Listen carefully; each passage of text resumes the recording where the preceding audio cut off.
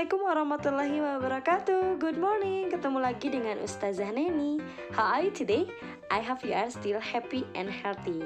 Hari ini kita akan lanjutkan pembelajaran kemarin. I want to remind you, kemarin kita belajar tentang interaksi. Ada environment interaction, interaksi lingkungan, ada social interaction Interaksi sosial, interaksi terjadi karena saling mempengaruhi kita juga belajar tentang advertisement. Iklan harus menarik, mudah dipahami, serta bersifat persuasif atau mengajak. Let's continue the lesson today. Before we'll begin, say basmalah together. Bismillahirrahmanirrahim. A'udzubillahi minasyaitonirrajim. Wa kulu wasrobu wala tusrifu.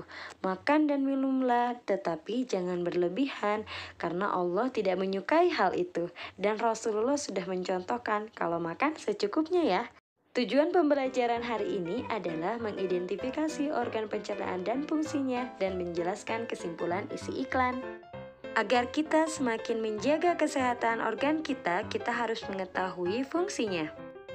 Pertama, mouth berfungsi mengunyah dan menghancurkan makanan.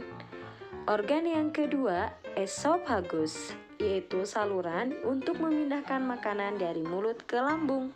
Selanjutnya, stomach yang menghasilkan enzim pepsinogen berfungsi untuk merubah protein dan asam klorida untuk menghancurkan mikroorganisme.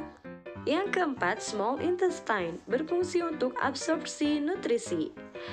Yang kelima, large intestine berfungsi untuk menyerap air dan mineral. Masya Allah, Allah ciptakan organ pencernaan kita begitu sempurna dengan fungsinya. Salah satu organ tidak berfungsi, maka akan terjadi gangguan pencernaan. So, harus dijaga ya, agar organ tetap berfungsi dengan baik dan kita maksimal ibadahnya. Look the advertisement. Apa kesimpulan iklan tersebut? Tentukan kesimpulan iklan. 1.